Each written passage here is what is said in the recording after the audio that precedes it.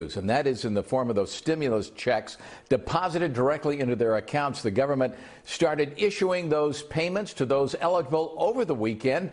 And NBC4's consumer investigator Randy Mac joins us again tonight. Randy is live and he's got the latest on when you can expect your check. Randy.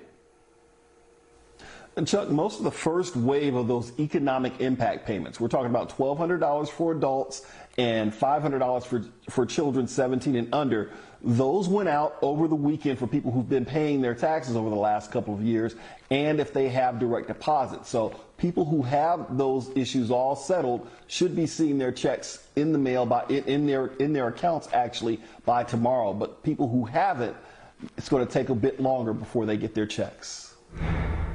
Stimulus checks is a trending topic on Twitter. Some of it is joking and disparaging of the process, while others are pleasantly surprised to see the first deposit in their accounts.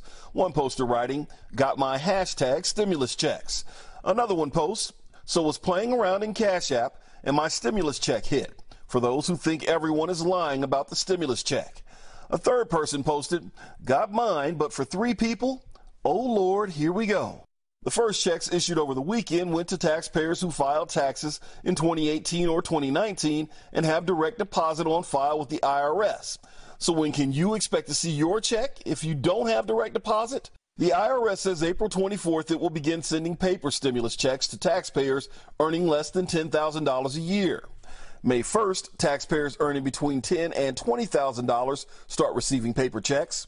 May 8th, taxpayers earning between 20 and $30,000 get checks mailed to them. And between May and September this year, paper checks will continue to be issued from the lowest to the highest income based on 2018 2019 tax filings. September 4th, the IRS will mail any remaining checks to married couples earning the joint maximum amount of income eligible to receive the benefit, which is $198,000.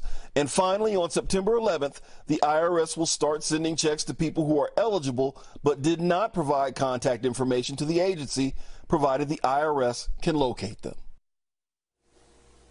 Now, if you haven't filed your taxes for 2018 or 2019, go ahead and do it. You still have time. If you include your direct deposit information, that will help you get your uh, your stimulus checks monies a lot faster. Now, if you receive Social Security and you don't file taxes, don't worry. You don't have to do anything. Social Security is part of the government, so they have your information. They'll get you your money. Lastly, the IRS is working to open a web app tool, a portal, if you will, called Get My Payment. That is so you can plug in a little bit of personal information and be able to track when your stimulus check is going to arrive in your in your account.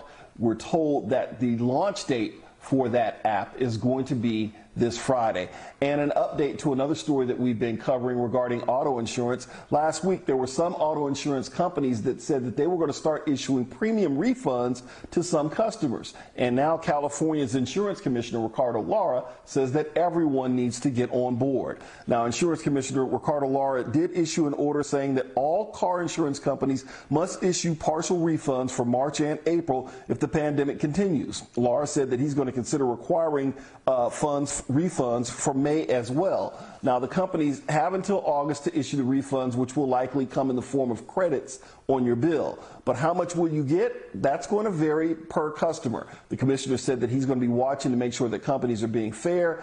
And if you're having a tough time um, paying your insurance bill due to COVID 19, Commissioner Lara is urging you to go ahead and t- call your insurance company and let them know that insurers are supposed to be, or Lara is urging the insurers to give customers at least 60 days to be able, of a grace period to be able to pay those bills. So if you do need help in paying your auto insurance bill, now is the time to go ahead and let your auto insurance company know that so that you can get that grace period and also so that you can potentially get your refund. Reporting live in Chino Hills, I'm Randy Mac for NBC4. Chuck, back to you.